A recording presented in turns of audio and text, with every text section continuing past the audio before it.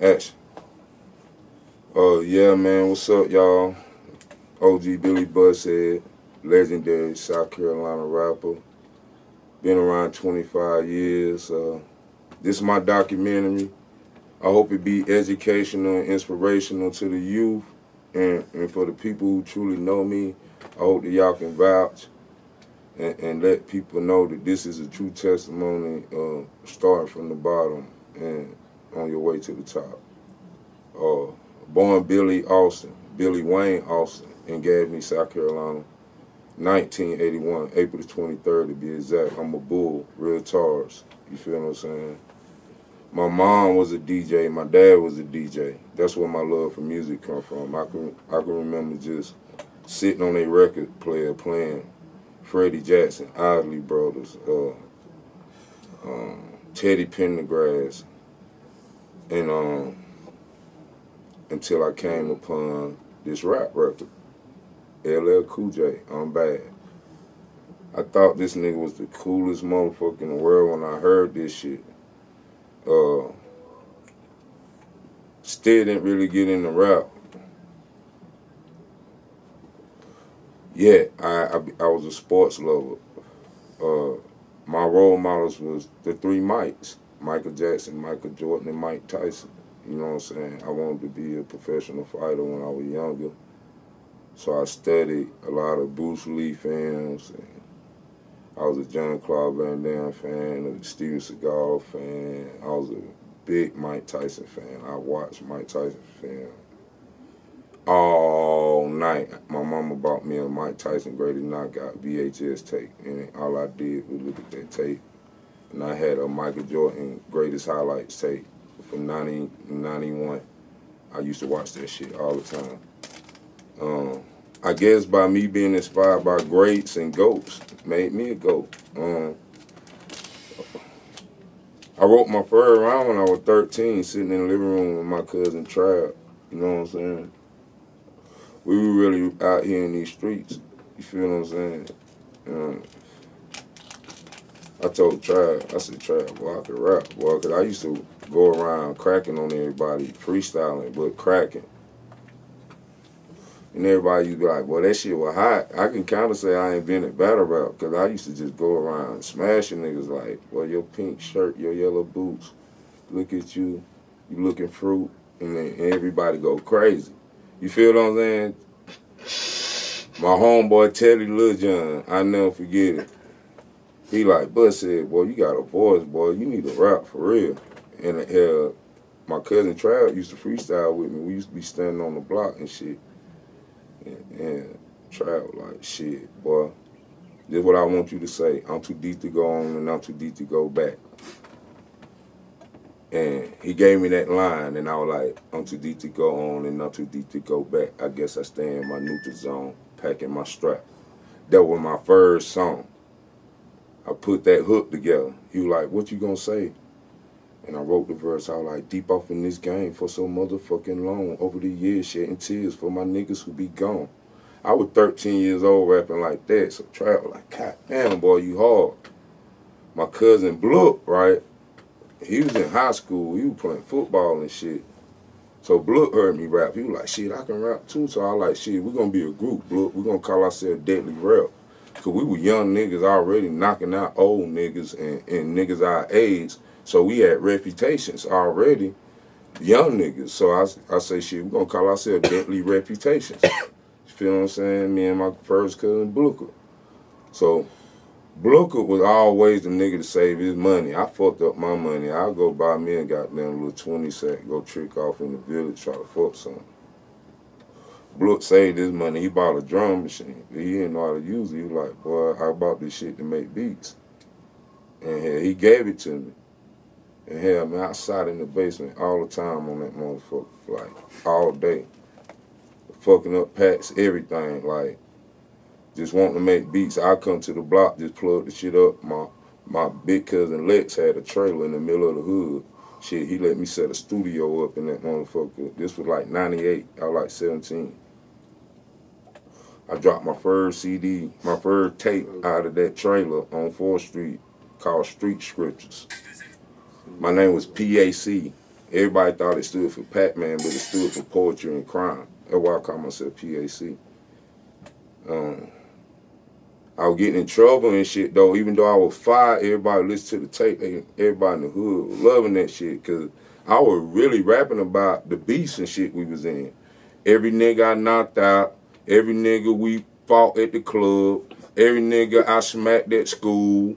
I wrote a rhyme about them, everything it kind of made me like the 50 Cent of the 90s, and that's how I got popular, because I would whoop a nigga ass and write a song about it. So, hell, my homeboy Billy Bam say, man, but I'm gonna start calling you Billy Busthead, because both our real name was Billy, and they call him Billy Bam. We hung everywhere. He, he was like, shit, I'm gonna call you Billy Busthead. So everybody in the hood started calling me Busthead. Hell, I went down the road. I'll never forget it. Um, I like, boy, I'm gonna use that shit for a rap name. Like, I can remember, boy, when nobody sent me nothing down that motherfucker, nothing, boy. It was just me and that motherfucker with a pad and pencil and a vision. Like, I was knocking niggas out down the road doing 90 day lockup, salt on pill with injury, sleeping on a cement slab for 72 hours before them crackers even bought me a mattress or any fucking thing. Like, man, I can remember goddamn shitting in my hand, bro.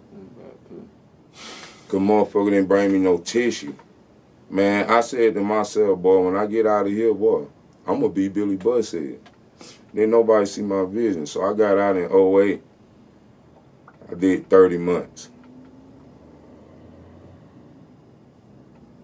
My own homeboy socked me up. That was crazy. I did. I caught a five year bid behind my own my homeboy dope.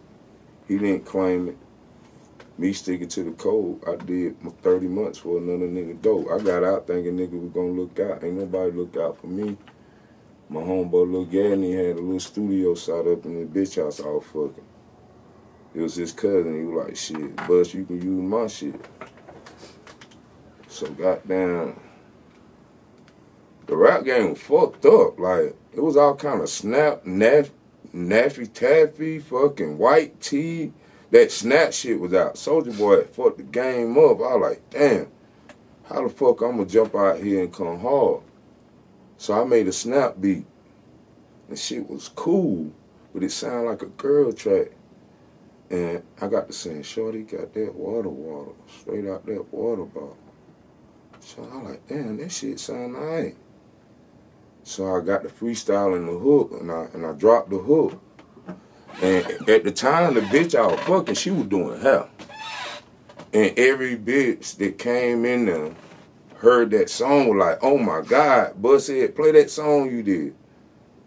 So it's this local DJ, he a legend, called Snowball. Snowball used to come and buy weed from my man Lil Gadney. So me and Lil Gadney sitting up there at, the, at my apartment, he pulled up. And I'm playing Water Water. He say, let me get that song, man. I'm playing that shit tonight in the club. So shit, I gave it to him. I didn't go to the club that night. I hit the block the next day. Everybody like, boy, we heard your new song in the club last night. I was like, what new song? They were like, that Water Water song. Man, Snowball ran that shit back four times. The bitches were going crazy. I was like, shit. So the club was open that night. I said, I'm going to go down here and see for myself. So I went down there, me and my old lady, we went out. Snowball played that shit again, boy. I'm talking about the club went crazy. And this time they didn't know the verses, but they know the hook. So everybody sang the hook with the song, like, damn. It's crazy. My first local hit was Water Water. So I like, man, uh, my cousin Dirt Dollar. Shout out Dirt Dollar my cousin, uh, he was like, Bus said, I'm gonna help you, boy. I don't wanna see you go back to jail. He like, shit, I'm gonna help you shoot a video for that motherfucker, and you can shoot a video for another song. I like, well, I got this song called Billy Got That Good. I did too. He heard it, he loved it. We went down to the village because I'm from I'm from 456th Street, but I was raised in the village too. RP, my aunt Viola, my grandma Esther lived down there over 20 years, my aunt Annie. So I was raised in the village too, so I was like, shit, I want to shoot Billy Got That Good in the village. So I shut down the projects, man. My first video shut down the project. The whole Gaffney was down there. That when I felt like a star. My cousin felt like, yeah, pussy could do this shit. So I told everybody, follow me to the club. I'm shooting Water Water video. Y'all, I throw the party that night. I made sixty-six hundred dollars. Like fresh out of jail, off a party, I one song. I bought a Jeep off that song. So you don't think you can make money out this music shit? Go on, you like for real. I bought a Ford Explorer, black 22s, all water, water. I ain't do nothing but make 10 more songs just to put around that song to sell a whole CD. You feel what I'm saying? But I bought, I took care of bitch forever off that one song. But anyway, that was 12 years ago. Uh, 2007. I've been riding this wave out water water for 12 years. What's crazy, why I, I dropped the song Water Water, it was, I had my best friend and my girlfriend at the time on the song with me. So, um, fell out. I ain't gonna say I fell out with my best friend, but he moved to Louisiana, so we couldn't really promote the record. And me and my old lady were falling out all the time, so I never got to push water, water. But what's crazy? About three o'clock in the morning, I'm laying in the bed. R.P. My cousin Butt Knife. He called me. He say, "Boy, um, Shanice, shout out Shanice, Ace Hood baby mom. Shanice wanna holler at you, boy." I'm like, what you talking about? She like, boy, she, she say, Yo Gotti heard your song, he wanna holler at you. So it's like three in the morning, I'm thinking he lying. I like, well, give her my number. She called me. But said, Yo Gotti wanna holler at you. So Yo Gotti got on the phone. This was my first time really talking to a rapper. You feel what I'm saying? I had opened up for niggas but never talked to them and shit. So beside Mopreme Shakur, I talked to Mopreme back in 2001 and that's another story when I get into the third life part. Um, Yo Gotti wanted to buy water water. So at the time, I didn't really understand the business. He asked me what I'm doing with the song. I'm like, shit, bro, I'm pushing this shit. Like, I'm trying to get on. He like, shit, sell me the song.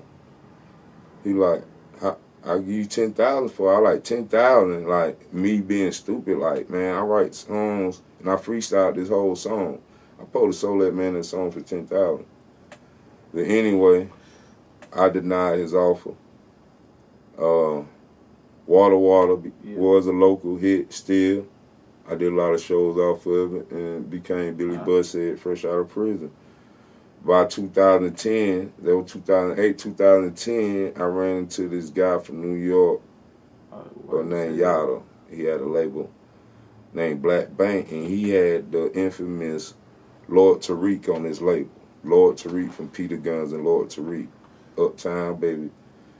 And um, my boy Sean Slugs was doing some work with him, and I was producing with Sean Slugs, and they heard me. And he was like, uh, boy, we might well get on this Black Bank wave. And um, boom, boom, boom, for my man Yada. So when I first met Yada, he was real quiet. Lord Tariq and RPPO, my dog P.O., RP Uncle Pop. Uncle Pop was doing all the talking. He like, boy, you the epitome of a Carolina nigga. We want you to fuck with us, this, that, and other. Boom, boom, boom. Yacht sitting back like, he just a nigga with them, not knowing that he was the CEO. So like three days went by, I see a white Tahoe pull up. It's Yada and Slugs. Yada like, get in the car, my nigga. Nigga picked me up, took me to Charlotte, took me to the True Religion store laced me up in the true religion. I meant the robbing shit. Bought me some J's. Like, nigga, you doing a show tonight? I'm like, yeah. He like, we finna go get tattoos. So we went and got tattoos. We all finna get Black Bank. Me, him, P.O. Slug say I ain't getting none yet. Y'all say I'm getting mine on my own. P.O. say I'm getting mine on my hand. But said, where you getting yours? So I'm getting mine on my head. Y'all niggas saved my life. They say, what? We gotta see this shit. I got the tattoo on my head. I didn't know what I did, but I got a friend for life, man. I miss you, Yada. Yada went all in with me. So through Yada, I didn't know who I met. He happened to be Angie Stone nephew. So me working with Yada for a few years, Angie Stone heard some R&B music I wrote for my artist Lady. Shout out Lady, the first lady of Thug Life South. I write music for her and Angie Stone heard it and she asked Yada like who wrote that? And he was like, uh, Billy Busthead. And she like, Billy Busthead, the, your rapper? You like, yeah. So she asked to hear some of my music and um, he played for real and she went and stabbed Like I gotta meet him. I'm gonna tell y'all what's crazy. At the time, I had just got married, right? And two little girls. I already had a son, Rashid. I had two little girls, Israel and Jasmine. So I was running the studio and I was working at Burger King. At the time, I was working at Burger King. My boy Yada called me like, Bob, what you doing? I said, I'm at work. He said, shit, hell, come to Atlanta right now my aunt want to meet you. I said, your aunt who? He said, Angie Stone. She want to meet you. So I called, I called everybody. I like, shit, boy, y'all want to give me a ride to Atlanta, motherfucker want to give me a record deal. I didn't know why she wanted to meet me. You feel what I'm saying? But I felt like it was a record deal with Angie Stone, and then it was Yada calling me. He wasn't nothing but money. So I like, shit, I need to get to Atlanta. So I called my homeboy C. Jinx.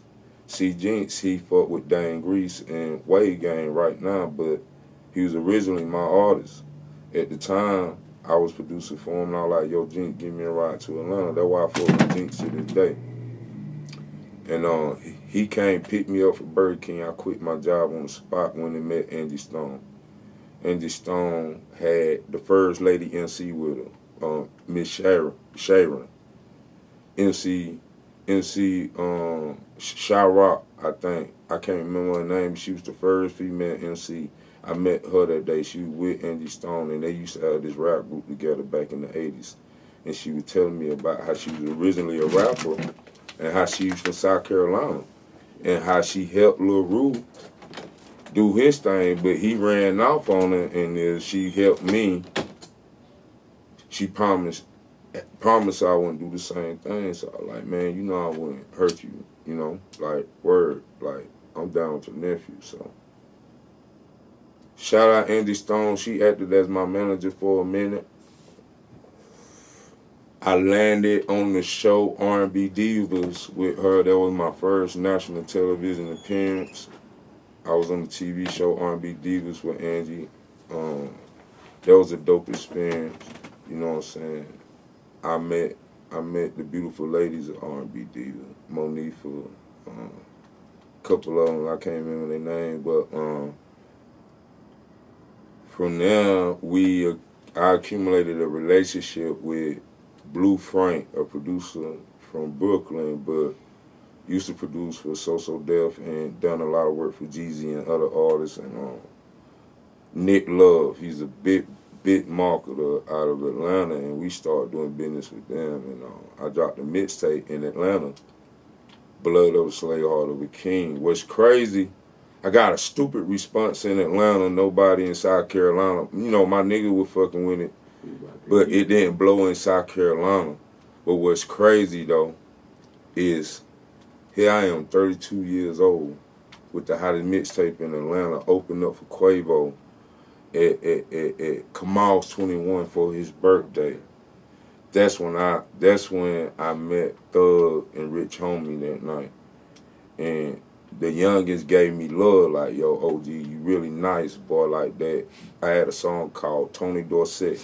Run to the check, run to the check. I'm Tony Dorsett. Tony Dorsett. Had the club going crazy. Thug gave me love. Uh, DJ Screen, the whole QC, from Q to to uh we was at Lenox Mall all day with Offset and Takeoff and Pee Wee Longway. You feel what I'm saying? Uh, we was at Lenox, at Pure, and at Foot Locker. Ran into Johnny Cinco. We fought QC all day. No cap, as my nigga C Jinx, as my nigga y'all. Said took over Atlanta in three months some situations happened, family issues. We had the record label ready to go in. We had everything on deck. I don't know what happened, but for some reason, shit got backed out on. You know, motherfuckers backed out on Buckhead and, and Black Bank, whatever we had going on. Um, then shit started going down here. My man Yada got locked up. Uh, Lord Tariq was like, yo, you know what, man, I ain't even rapping no more. I gotta get some shit done for my family. And you know, all of us following them, my man P.O. like, shit, I'm finna start driving trucks, so ain't nobody really thinking about the label no more. So shit, I'm sitting here with this shit in my basement. I'm like, shit, I'm finna keep the label going, so shit, I'm still pushing Black Bank to this day. Um, this 2016, the police raid my studio at my mama house. They put my mama in cuffs, everything, boom, boom. They found a little ounce of weed in the studio. I come home, claim it, go to jail. I just feel it in my heart that these people around here didn't want me to have nothing, so uh now we get into the thug life part. Twenty years ago, I had moved to LA with my homeboy TJ Gillespie out to the Bay Area out in Stockton, California, and I met this guy in a wheelchair named General. And what's crazy, a nigga in a wheelchair ran the whole city. Like what on everything. They got a studio downtown, bodyguards, bitches. Perk, that was my first time seeing Perk, this like 04, 03. Oh, my man, they had a label called To The Face Records. He had a brother named Tizzle. You know, I never forget them boys. They was real, real dope. And um, General looked out for me, put me on his, put me in his movie, or put me on his mixtape but our apartment burnt down in the Bay, so I ended up having to move to Southern California with my cousin Jamaica and her boyfriend two sides. Uh, shit wasn't all sweet like they said it was. When I got down there, they didn't have nowhere to go. Yeah, we had to get a damn motel room and some shit, boom, boom, boom. But my man two sides said he was fucking with this white guy named Jared that was best friends with Tupac brother. And you know how niggas just be talking but for some reason, you know, me and Two Side, we don't roll, we don't did shit in Gaffney together. Like this nigga don't been in my city and we don't really ran it up together. So I know he ain't no cap if he say he know Tupac brother, he know Tupac bro. So we go to this Irish bar, Old Haley's. Uh, we meet this white guy named Jared. Jared Morris, I'll never forget you, Huckleberry. I love you to death, boy. Wherever you at and whatever you going through, know I love you, man and I forgive you. Just know that. You know, I love you, boy. But we met Jared. And the time Jared seen me say, boy, you look like a rapper. I say, what make you say that? He say, boy, you look like you done been through some shit. I started laughing. You like spit something. I spit eight balls for him. He like, man, fuck that. I'm introducing you to Big Syke. I say, Big Syke? He say, yeah, Tupac, homeboy, Big Syke. I'm finna introduce you to Big Syke. I like word, word. So he calling Big Syke. I talked to Big Syke on the phone. He like, word, if Jared say you nice, I'm I'm gonna listen to you. I like, all right, uh, boom. And what's crazy is that I missed I missed that meeting with Big Syke then, but like three days later, Mopreme wife called Jared and like, yo, Jared, can you help? Mopreme called Jared and like, Jared, can you help my wife move into our new house?